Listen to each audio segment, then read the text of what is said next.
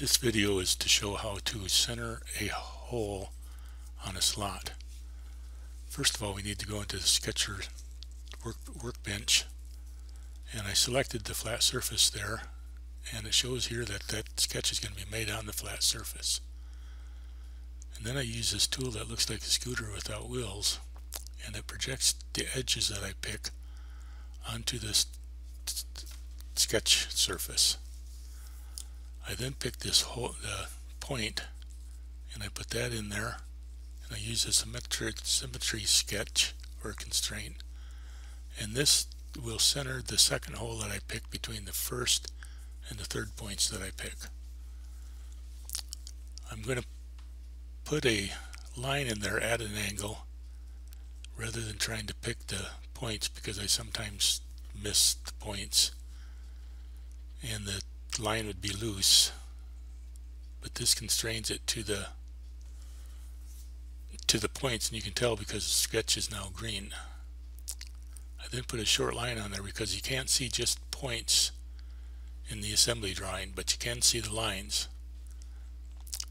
Now the sketch is not connected to anything so it can move around.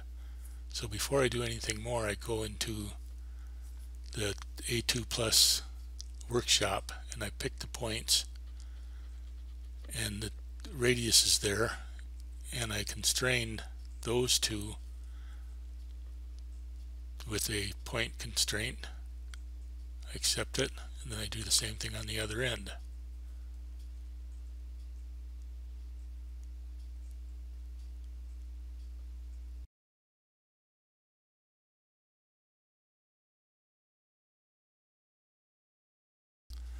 Next I want to make a point on plane constraint. This is a constraint where you have to pick the point first and then the plane. If you pick it the other way around the icon will not show up for you to make the, the, the constraint. Now the sketch is anchored in 3D space and all that we need to do is pick the, the point and the edge of the circle to constrain those together. Next simply make the sketch invisible and you'll have a hole that is centered on this on your slot. This is Dan. Goodbye. Have a good day.